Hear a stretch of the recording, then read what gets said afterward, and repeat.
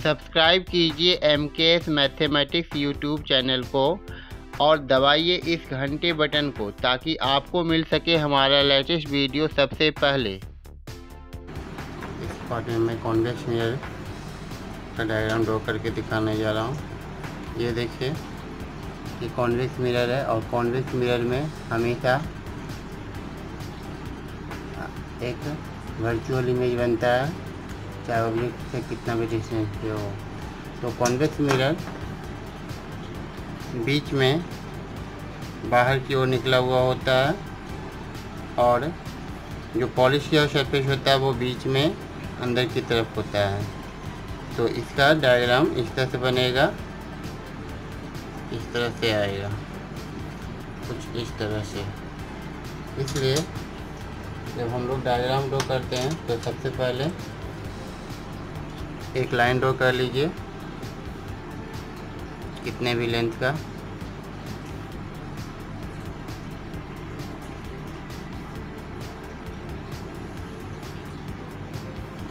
ये देखिए, मैंने ड्रॉ कर लिया है।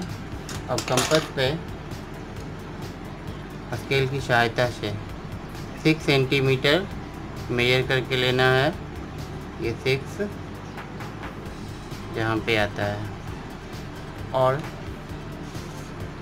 इस पे एक पॉइंट को मार्क कर लीजिए। मान लीजिए ये सेंटर ऑफ़ कर्वेचर है आपका। सेंटर ऑफ़ कर्वेचर यहाँ पे कंपास को रखिए। और जितना नीचे ले जाना है, उतना ही ऊपर भी लाना है। दोनों तरफ़ बराबर बराबर मार्किंग करना है। तो ये देखिए मैंने मार्क कर लिया है। अब इसे अंदर से शेडिंग कर देना है कॉन्वेक्स मिरर के लिए।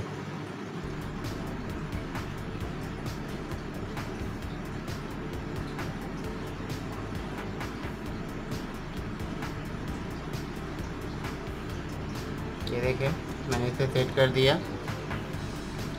अब ये पोल हो गया।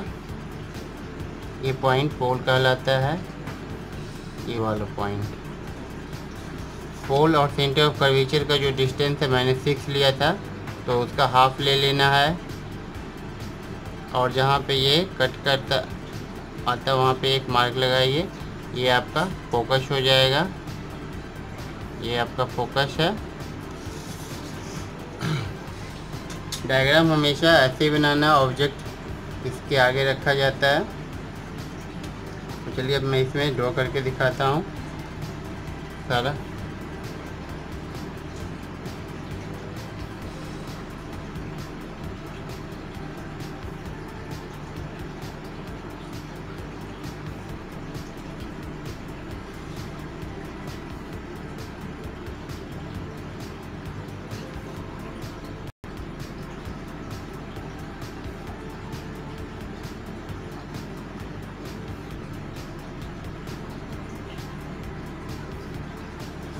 मैंने इसे ड्रॉ कर दिया।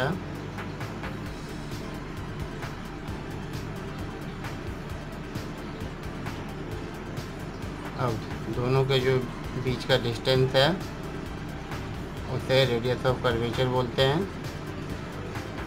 ये देखिए, ये इस दोनों के बीच का पोल और सेंटर ऑफ़ कर्वेचर के बीच का डिस्टेंस रेडियस ऑफ़ कर्वेचर कहलाता है। और फिर पोल से फोकस तक का डिस्टेंस।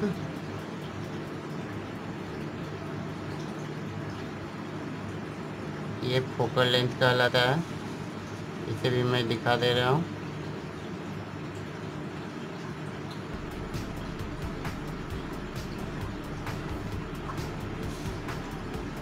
इसे फोकल लेंथ बोलते हैं।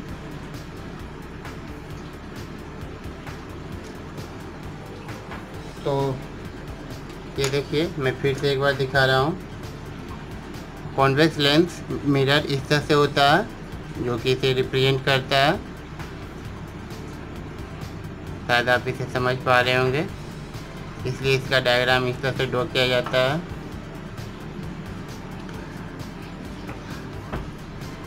डायग्राम से आप लोग डेफिनेशन को बहुत ही आसानी से याद कर सकते हैं। The distance between pole and the centre of curvature is called the radius of curvature and the distance between the pole and focus is called focal length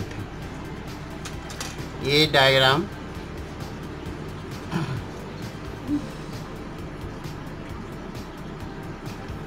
convex mirror का डायग्राम था।